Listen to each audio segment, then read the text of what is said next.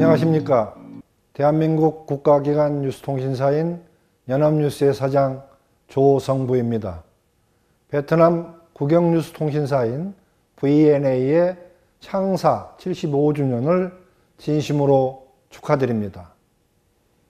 VNA는 베트남을 대표하는 국영뉴스 통신사로서 창사 이래 지속적인 성장과 발전을 거듭해 왔습니다.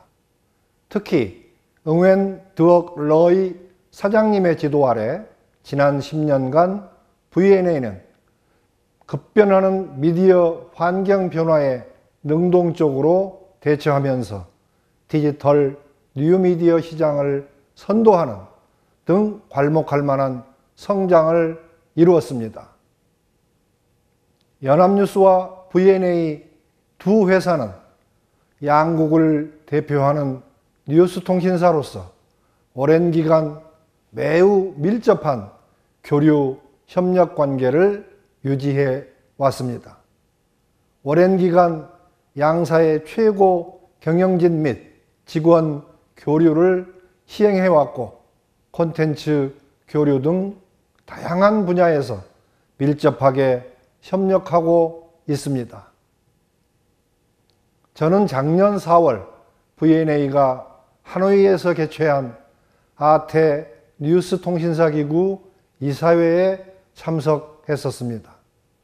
성공적으로 행사를 치르기 위해 VNA가 기울인 각고의 노력과 역량 그리고 발전상을 지켜보면서 큰 감명을 받았습니다.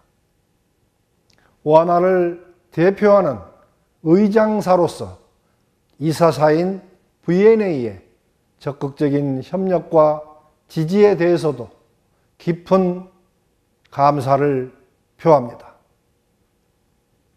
탁월한 리더십과 경륜을 바탕으로 연합뉴스의 가장 든든한 지지자가 되어주신 응웬 드억 러이 사장님께 다시 한번 감사의 뜻을 표하며 앞으로도 많은 조언과 협력을 부탁드립니다. 연합뉴스는 VNA를 오래된 소중한 친구이자 미래를 함께할 전략적 동반자로 생각하고 있습니다.